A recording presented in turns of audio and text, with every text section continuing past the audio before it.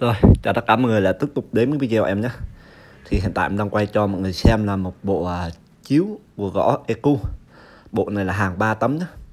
Bộ này là hàng 3 tấm. Hiện tại kích thước của nó đang là rộng 2m1, dài 15 và dài là 3m2 Cái này á, như mà mấy cái tấm này á Là nếu mà đúng ra là nó rộng tới 1m8 Nhưng mà tại vì hàng ôm tâm. Nên là em uh, đọc em bỏ tâm luôn em làm hàng 3 tấm để cho nó đảm bảo chất lượng cho mọi người. Khi xài. Nói chung cái bộ này thì hàng 3 tấm thì anh em có thể um, vận chuyển nó dễ dàng hơn. Là bộ một tấm hoặc hai tấm. Thì cái bộ này nó rộng tới 21 đó. Nói chung là rất là ok luôn. Và cái loại gỗ này thì nó rất là chất lượng nha mọi người. Đó. Mọi người có thể nhìn thấy nữa. vâng là rất là ok luôn. Cái hàng này là hàng cùng mộc nhé em chưa có BU nên là nó có chỗ nói chung là nó không được đều màu cho lắm còn về văng veo thì anh em khó phải bằng. Đó văng này rất là ok luôn. Ngay chỗ đây thì có nu luôn này. Nè anh em có thể nhìn thấy. Đấy, nu rất là đẹp luôn.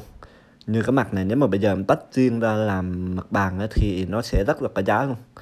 Đó như những nơi khác là bình thường như nó mà nó có nu thế này thì người ta bán giá rất là cao luôn đó mà cái này thì em um, sẽ về. Thì nói chung thì uh, giá gỗ thì em sẽ giá như thế nào thì em nói chung mình trừ hết chi phí công cán rồi à, rồi em đưa ra giá vậy thôi. Chứ không như những nơi khác là em sẽ đưa ra giá là ừ hàng có nu thì em sẽ đưa ra giá rất là cao. Nên là anh em mua hàng thì không cần phải suy nghĩ. Thì hiện tại bộ này thì em đang bán với giá là 59 triệu là bao ship cho mọi người nhé. Hàng 3 tấm, bảo đảm chất lượng ok cho mọi người luôn. Hàng của gõ, hàng này thì nó, nói chung thì giá thành của cây thì nó đắt hơn những cái loại gỗ khác anh em nhé. Đó mà với lại là hàng à, nó còn mọc này. Với lại hàng ba tấm nên là anh em không phải uh, suy nghĩ về vấn đề là chất lượng hay là sao. Ngoài ra thì bên em thì nói chung thì hàng quay là quay mọc hết cho mọi người. Nên là anh em không cần phải uh, lo gì hết. Đó.